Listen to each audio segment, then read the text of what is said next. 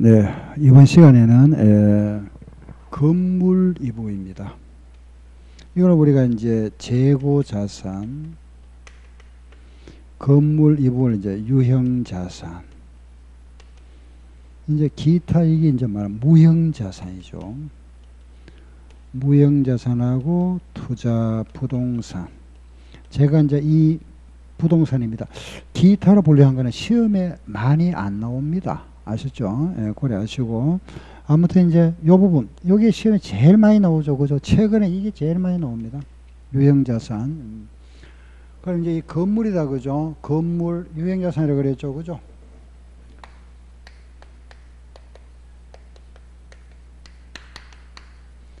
유형자산 하는 거는 형태가 있는 거다. 형태가 있는 자산.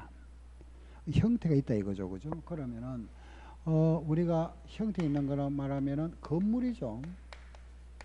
대표가 건물, 토지, 이런 거죠. 음. 건설 중인 자산, 그리고 기계, 항공기, 비품, 뭐 등등 이런 자산들이다. 그 이런 자산들인데 이 자산은 특징이 뭐죠?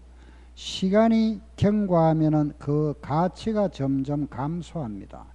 사용하거나 시간이 경과함에 따라서 가치가 감소하죠. 그걸 뭐라 하죠? 감가상각비라 합니다. 그럼 여기 핵심이 뭘까요? 그렇죠. 감가상각비 계산하는 겁니다. 아셨죠? 예. 그 포인트를 딱 잡으셔야 되죠. 그죠? 보세요. 현금에서는 현금 및 현금성 자산, 예금에서는 은행계정 조정표, 주식에서는 처분 손익, 평가 손익, 외상에서는 대손해계와 음 할인, 상품에서는 이익 구하는 거, 그죠? 기말 재고 구하는 건데, 요 이익 구하는 거 T 계정 두 개.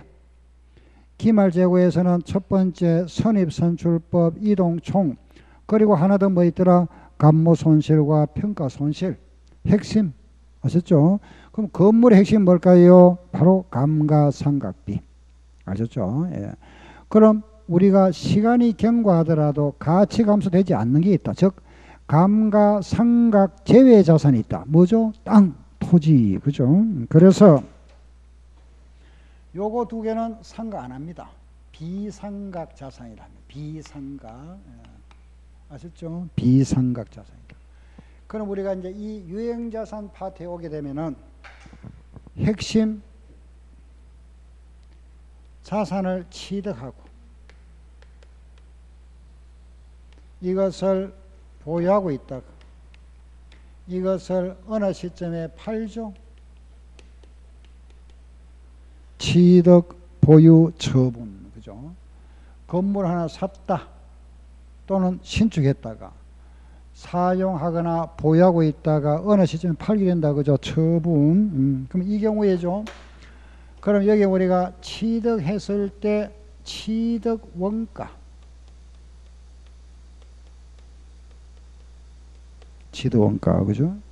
물론 취득 시에 직접 손해그 비용이 있죠, 그죠? 이런 비용을 원가에 포함합니다, 알겠죠? 예, 취득 시는 원가에 포함하는 게 원칙입니다. 음. 보유 바로 12월 31일 날 결산 때죠, 그죠? 이 결산 때 행하는 게 뭐죠? 그렇죠, 감가상각비. 아셨죠? 팔았을 때, 처분했을 때 처분 손익 얼마냐 알아보는 거. 이게 핵심 포인트입니다. 그럼 우리가 보유할 때 감가상 이게 핵심이죠. 그죠? 또 하나 있습니다. 또 하나 우리가 수리하기죠. 수선비.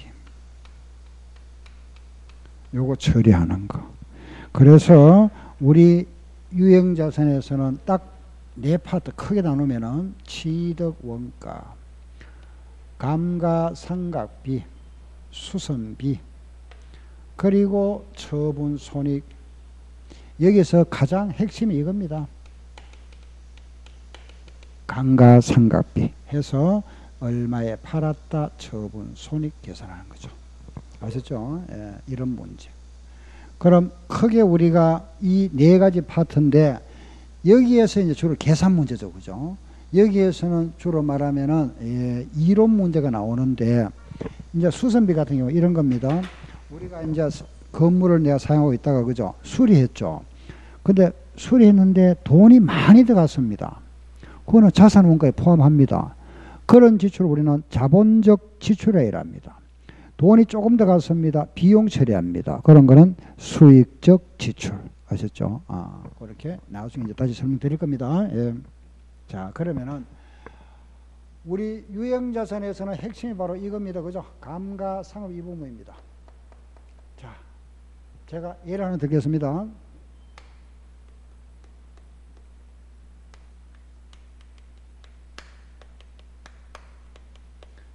기계 하나 샀습니다. 10만 원에.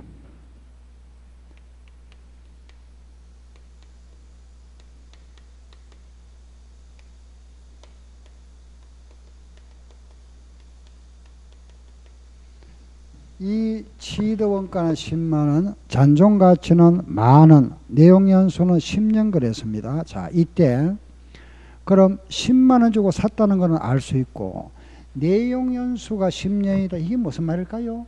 그렇죠. 수명이 10년, 10년 사용할 수다 이거죠. 그죠? 그러면은 10년 지나면은 이게 연기가 되어서 날아가 버립니까? 아니죠. 10년이 지나고 나면 기계가 고물이 돼 있겠죠. 고물. 쓸모는 없다 하더라도 고물 값이 있잖아. 고물 값. 그게 잔존 가치입니다. 보통 이 잔존 가치는 원가의 10% 정도 해줍니다. 아셨죠? 예, 그래서 항상 문제가 이게 주어집니다. 이거는. 그럼 이런 취득 원가 잔존 가치 내용 연수를 가지고 있는 기계를 내가 취득하여 4년 후에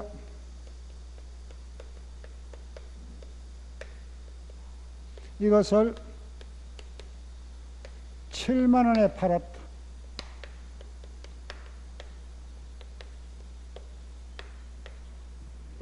이때 그러면은 팔고 손해 봤습니까? 이 봤습니까? 이래 물어봅니다. 알겠죠? 그죠? 예. 자, 문제를 한번 다시 한번 보세요. 기계를 10만 원 주고 샀다가 4년 후에 7만 원에 팔았습니다. 그럼 10만 원 주고 샀다가 7만 원에 팔았으면 손해 봤죠. 그죠? 그런데 그 3, 4년 동안 뭐가 있죠? 그렇죠. 감가상각비가 있잖아. 그죠? 예. 그럼 이 감가상각비가 얼마인지 한번 계산해 볼까요? 자, 10년 10만 원인데 그죠? 요거는 가치 감소 안 되잖아. 그죠? 그럼 만 원 남아 있으니까 10년 동안의 가치는 얼마가 감소됩니까? 9만 원 감소. 그렇죠. 9만 원. 그게 10년간 나누어 준다면은 1년의 감가상각비 그 1년의 감가상각비라 합니다. 알겠죠? 그 1년의 감가상각비가 얼마 될까요? 1년에 9천 원이지. 그죠? 9만 원 10으로 나누니까 9천 원이잖아. 그죠? 음. 이게 4년이 지났습니다. 그죠? 4년. 그럼 1년에 9천 원씩 4년이 지났다면은 3만 6천 원이죠. 이 금액을 우리는 감가 상각 누계라 이랍니다. 누계. 1년에 9천 원씩 4년이면은 3만 6천 원이잖아. 그죠? 누계. 감가 누계라 이래. 우리가 줄여서 보통 감가 누계라 이랍니다. 아시겠죠? 예. 자, 이제 그러면은 이제 봅시다. 1년에 감가상각비가 9천 원인데 4년이 지났다면 3만 6천 원 감소됐습니다. 그럼 4년 후에 이 기계의 장부는 지금 장부상에 잔액이 얼마 남아 있을까요? 장부 잔액은 장부상에 자 우리 장부를 하면은 이게 취득 원가가 장부입니다. 알겠죠? 10만 원 주고 샀을 때 장부에 10만 원 이렇게 기록하잖아. 그죠? 그게 장부 금액입니다. 그럼 10만 원짜리 중에서 가치 감소가 3만 6천 원 되었으니까 그럼 장부 얼마 남아 있겠죠? 그렇죠. 6만 4천 원 남아 있지. 그죠? 여기까지 알겠죠? 어떤 분은 여기다가 만원 빼라고 생각 빼면 안 됩니다. 이거는 예. 일단 이게 장부금이잖아요. 지도 원가에서 그죠? 요걸 왜 장부 나왔다 그죠? 이걸 이래 팔았다 이 말이죠. 아, 6만 4천 원짜리를 7만에 팔았다. 이익 봤잖아. 얼마? 6천 원. 우리가 이익은 플러스 나타냅니다. 답 6천 원이다. 아셨죠? 그죠? 이렇게. 이렇게 계산하는 겁니다. 그럼 이렇게 우리가 1년에 6, 9천 원씩 매년 9천 원씩 4년이니까 3만 6천 원이다. 그죠? 매년 똑같은 금액으로 하는 거 이걸 우리는 정액법이라 이랍니다. 아시죠? 정액법 이렇게. 그럼 여기서 이제 우리가 볼 수 있는 게 그죠? 예, 보세요. 자, 그 이런 문제 나왔다. 그럼 보세요. 그럼 이 지도 원가에다가 지덕 원가에다가 그죠? 감가 누계 이게 10만 원입니다. 그죠? 이 감가 누계를 빼면은 이게 뭐가 된다? 그렇죠. 장부금액. 이걸 팔았다. 처분 7만 원에 팔았다 이러잖아. 그죠? 그 여기서 우리는 이 금액 구하는 거죠. 그죠? 이거. 이걸 우리가 계산하면 이 감가상각비잖아. 그죠? 예, 물론 이 금액에서 이제 6만 아, 3만 천 나왔죠. 그죠? 이게 6만 4천. 이게 3만 천 나와서 이게 6만 4천 되죠. 그죠? 이걸 이래 팔았으니까 이익이 6천회이다. 그죠? 그럼 이제 어, 우리가 이 감가상의 문제 나오면 항상 모양을 이렇게 만듭니다. 이렇게. 아셨죠? 음, 이렇게 만들어서 취득, 감루, 장부, 처분 요거 주어집니다. 문제에서. 요거만 계산하면 이거 자동적으로 나오잖아. 그죠? 그럼 이 금액을 계산해야 되죠. 그죠? 우리가 3만 6천 원 금액을 계산하는데 그럼 감가상각 방법이 하나밖에 없느냐? 하나만 있으면 참 좋겠는데 우리가 만약 이런 감가상각 방법을 갖다가 정액법만 하세요 하면은 문제가 생기죠. 그죠? 똑같은 것만 들다 보면은 어떤 뭐 물건 정 말해서 그죠? 어떤 자산은 그게 또 편할 겁니다. 근데 어떤 기계 같은 거는 그죠? 사용함으로써 점점 마모가 많이 되잖아. 그죠? 그런 거는 또 똑같이 하면 안 되겠죠. 그죠? 초기에 많이 떨고 갈때 또 끝에 가서 좀 적게 떨어야 됩니다. 그래서 그래서 이제 이런 문제가 생긴다. 그죠? 기업마다 이런 유형 자산을 보유하는 기업마다 다르겠죠. 그죠? 예, 그러면은 어떤 기업은 유리하고 어떤 기업은 불리하면 안 되겠죠. 공평이 되잖아. 그죠? 그렇죠? 그래서 방법들을 좀 여러 가지를 제시해 줍니다. 너그 기업에서 알아서 선택해라. 너가 편한 거 선택하고 그거 선택하면 하면은 다른 거 바꾸지 말고 계속 그걸로 해라. 아셨죠? 그래 항상 우리는 선택 가능한 방법이 여러 가지 있다 하더라도 선택은 자유입니다. 그래 한번 선택하면은 딱 발목이 잡히죠, 그죠? 한번 선택하면은 계속 그 해야 돼요. 계속성을 유지해야 됩니다. 아시겠죠, 그죠? 이게 회계의 원리 법칙입니다. 음, 그럼 그럼 이제 법에서 우리가 주어진 방법이 있을 겁니다, 그죠? 여기서 감가상각하는 방법 이 방법이 있다, 그죠? 방법에서 이제 가장 대표적인 방법이 무슨 법? 정액법이다. 정액법. 또 있습니다. 정율법도 있다. 이중 체감법도 있습니다. 이중 체감법. 이중 체감법.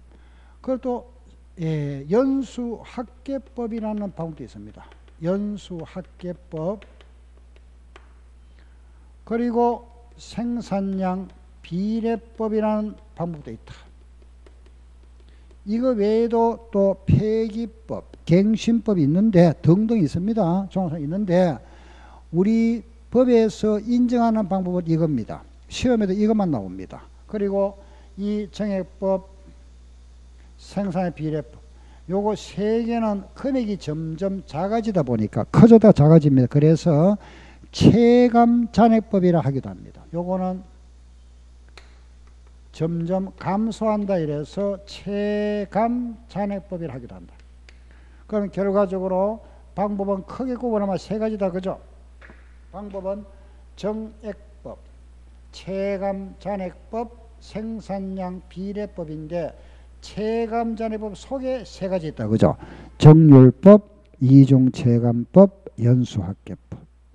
요 방법들 요걸 이해하셔야 되겠죠 그죠? 예. 그래서 우리는 그는 이 시험에는 이게 뭐 월등히 많이 나왔습니다. 정액법 그리고 2등이 이겁니다. 연수학계법 각각 이것도 두 번, 이것도 두 번, 이것도 두 번씩 나왔죠. 그죠? 예. 각각 시험이 다 나왔으니까 이런 거는 물론 기본적으로 아래 시험이 많이 나왔다 해서 알고 적게 나오고 해서 모르면 안 되죠. 그죠? 이거는 우리가 기본적으로 아셔야 돼요. 알겠죠? 예. 그러면은 감가상각은 이런 거다. 일단은 이제 우리가 기본 틀을 알았습니다. 그죠? 일단 우리가 먼저 정해법을 가지고 강사 하는 이거 좀 연습하고 이제 기본을 좀 잡고 나서 방법들을 또 이해하도록 하겠습니다. 예. 자 뒤로 가서 우리 연습 좀 하겠습니다. 책 한번 보세요. 음.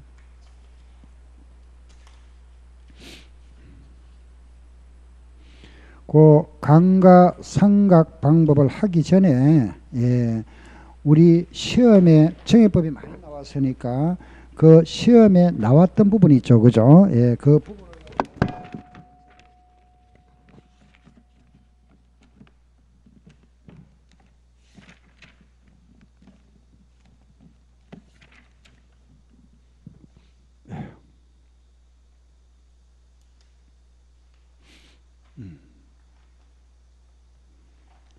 예, 기출 및 예상 문제입니다. 예, 기출 및 예상 문제. 제가 문제 찾아드리겠습니다.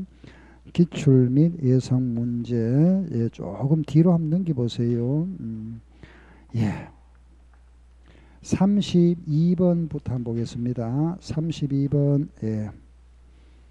32번 찾았습니까? 시험에 나왔던 문제, 그 몇 문제? 우리 어, 먼저 기본 틀을 잡아야 되니까 그죠? 32번부터 먼저 풀어보고 조금 또 들어가겠습니다. 32번 찾았습니까? 기계를 100만 원에 매입했습니다. 매입과 관련 비용 2만 원 투입되었고 내용요소는 10년, 잔존 가치는 10%다. 그 2년 후에 1년 1일 샀다가 3년 하면 2년이 지났다 이 말입니다. 그 기계를 80만 원에 팔았다. 처분 손익 얼마고 물었으면 그럼 이런 유형에서 나왔다 그죠? 강가사업비네. 자 보세요.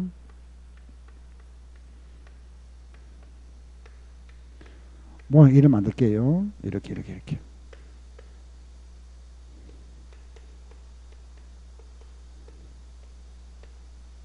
알죠 그죠? 음. 이걸 팔았다 이겁니다. 그 항상 기본 모양은 이거다. 그죠? 기본형. 취득, 감루, 장부, 처분. 아셨죠? 얼마 주고 샀습니까? 100만 원 아닙니다. 얼마? 그렇죠. 120만 원. 왜? 그 비용은 포함한다 그랬죠. 그죠? 비용 포함 120만 원. 어, 이걸 얼마에 팔았습니까? 80만 원에 팔았다 그랬습니다. 80만 원에. 예. 그럼 이제 여기 나와 있는 그죠? 강가 누계가 얼마인지 계산해 보면 되죠? 무슨 법이죠? 정액법. 정액법은 알겠죠? 정액법 우리 방금 해봤잖아, 그죠? 정액법은 요거 빼고 나누면 됩니다. 알겠죠? 취득원가 마이너스 잔 요거 빼고 나누기 이렇게 아시겠죠? 예. 공식을 꼭 암기할 필요 없습니다. 그죠? 정액법은 취득원가 마이너스 잔존가치 그 나누기 내용연수 아시겠죠? 예, 그럼 바로 해보겠습니다. 취득원가 120만원 잔존가치는 10% 그랬죠. 그죠? 12만원 내용연수는 몇 년입니까? 10년 그죠? 10년이다. 그렇죠? 10년. 예. 그럼 1년 감가상각비가 얼마죠? 1년에. 이게 지금 120만 해보면 100만 8천 원에 108만 10만 8천 원이네 그죠?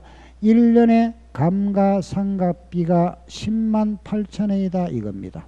1년에. 그럼 1년에 10만 8천 원인데 여기 몇 년 지났습니까? 1년에 10만 8천 원인데 지금 1년도 1일에 샀다가 3년도 1일에 팔았으니까 2년이 지났습니다. 그죠? 2년 지났다. 얼마죠? 21만 6천 원. 그렇죠? 아, 강가 누계는 21만 6천 원이구나. 그렇죠? 어, 그러면은 치드 원가에다가 감가 누계를 빼니까 얼마? 98만 4천 원이다. 이걸 1에 팔았습니다. 손해봤네. 얼마? 예, 18만 4천 원. 손실. 답이다. 그죠? 예, 18만 4천 원 손해봤다. 이해되죠? 그죠? 예. 다음, 이번에, 예, 37번.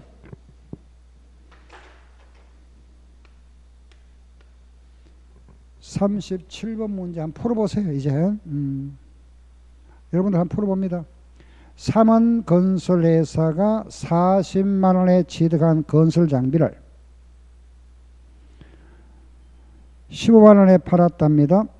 이걸 청해법으로 상가한다면 처분 손해가 얼마냐? 마찬가지죠, 그죠? 예, 똑같이 해볼게요. 취득 원가, 강가, 누계, 장부자래. 이걸 팔았다, 그죠? 처분. 네. 그럼 이 문제에서 취득 원가가 얼마냐면은 40만 원에 취득했다. 40만 원에 취득했다가 이걸 얼마에 팔았습니까? 15만 원에 팔았다. 그죠? 그럼 처분손이 얼마냐? 그럼 여기 나와 있는 감가 누계를 계산하면 되겠다. 그죠? 감가 누계. 자, 계산해 보겠습니다. 청약법이니까 취득원가 40만 원. 잔존가치 4만 원.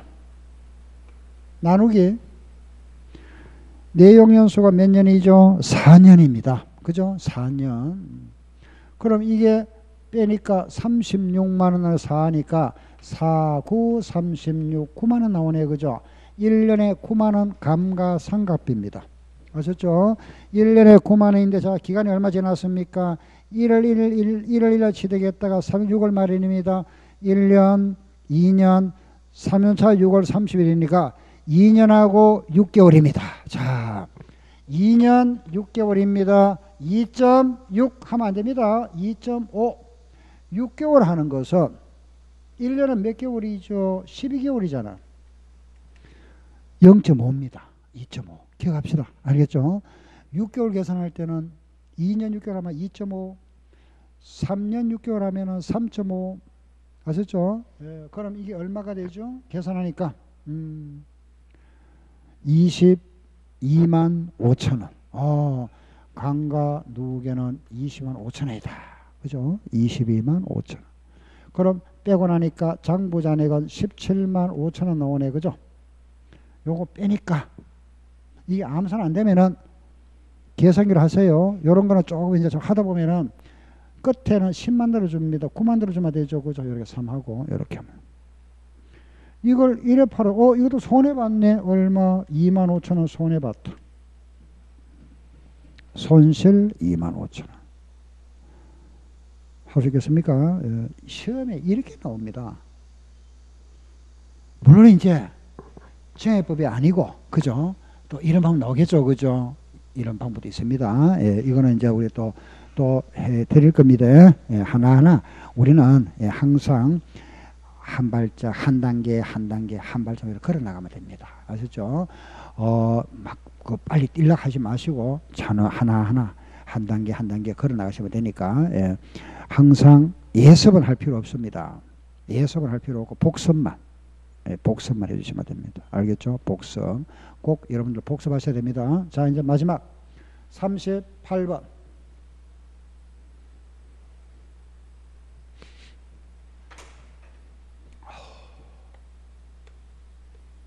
38번 1년도 7월 1일에 기계를 80만 원에 매입했고 내용요소가 10년이다. 잔존 가치는 10% 강가상 하고 있다. 그죠? 이걸 60만 원 팔았다. 처음에 얼마고 마찬가지죠. 그죠? 어, 지금 제가 풀어드린 거 전부 시험에 나왔던 문제입니다. 치도원가 강가 누계 그리고 장부잔액이죠. 이걸 얼마에 팔았다 그랬습니다. 자, 문제 보세요. 80만 원에 취득했습니다. 먼저 풀어보세요. 네, 영어나 풀어보시고 8천 취득했다. 얼마에 팔았죠? 65만 원에 팔았. 이 문제잖아, 그죠? 그럼 요 기간 동안에 우리는 뭘 해야 되죠? 강가상가, 그죠? 음. 자, 이것도 마찬가지. 예. 정액법입니다. 그죠? 예, 그러면은 취득원가 80만 원에서 잔존 가치는 10%죠. 10%면은 8만 원입니다. 그죠? 여기다가 내용 연수는 몇 년이죠? 10년이네. 그죠? 72만 원을 10으로 나누니까 7만 2천 원. 1년에 7만 2천 원입니다. 몇 년 지났습니까? 1년에 7만 2천 원입니다. 거기 보니까 자 2001년 연도를 잘 보세요. 2001년 7월 1일에 시작했다가 2004년 12월 말입니다.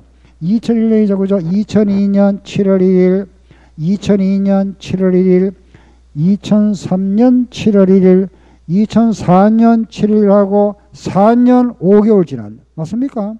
2, 3, 4, 아니 3년 5개월이네. 3년 6개월. 3년 6개월 지났습니다. 그럼 어떻게 한다? 3.5 3년 6개월입니다. 3.5 아셨죠? 1년에 7만 2천 원씩 3년 6개월 3.5 얼마죠? 25만 2천 원. 요거 계산하면 25만 2천 원입니다. 아셨죠? 그럼 장부 자리가 얼마? 54만 8천 원. 이걸 1에 팔았으니까 어 이번에 이익 받네 그죠? 남았습니다. 얼마가 10만 2천 원. 여러분들 이 정도 계산하셨으면 잘하는 겁니다. 알겠죠? 벌써 유형자산에서 50% 벌써 땄습니다. 50점. 그럼 이거 조금 더 추가하는 게 뭘까요? 그렇죠. 정률법, 이중체감법, 또 연수학 이런 걸 조금 추가하면 되겠죠. 그죠? 예, 하시면 되고 강가상의 핵심은 이거다. 이렇게 해서 강가상합비와 처분 손익 방법만 추가하면 끝나버리죠. 이거 끝나고 나면 다 줘, 그죠? 그럼 이거 이론 좀 알아보고, 지동을 좀 알아보고, 그 다음에 여기 수선배 알아보면 끝나버립니다. 그럼 자산이 끝나. 지금까지 한 부분이 우리 전체 회계원리 시험에 50%가 출제됩니다. 아시겠죠? 할만하죠, 그죠? 예? 그죠? 그래서 우리 유형자산에서는 여기까지입니다. 50%. 알겠죠? 그죠? 여기까지 시간이 50% 나온다. 그걸 아시고. 여러분들은 제가 자꾸 반복 말씀드립니다. 저만 제 하는 말대로 제 따라오시면 됩니다. 알겠죠? 예. 여러분들이 꼭 지켜야 될 거는 수업 시간에 요거는 준비하셔야 됩니다. 연습장과 계산기 가져오시고 수업 시간에 제가 같이 풀어보고 꼭 집에 가시거든요. 반복 좀 한번 하시고. 알겠죠? 예. 그리고 또 어, 문제는 많이 풀수록 좋지만은 다른 문제 아직 풀지 마세요. 왜냐하면 아, 여러분들이 기초가 아직까지 튼튼하지 못하기 때문에 기본 문제 제가 풀어야 되는 문제 자꾸 반복해서 푸세요. 알겠죠? 문제는 앞으로 많이 풀 시간이 있습니다. 기본만 돼 있으면 문제는 얼마든지 많이 풀 수 있잖아요. 그 문제 우리가 기본만 돼 있으면 전부 문제 보면은 숫자만 밖에 나옵니다. 이 숫자. 알겠죠? 어.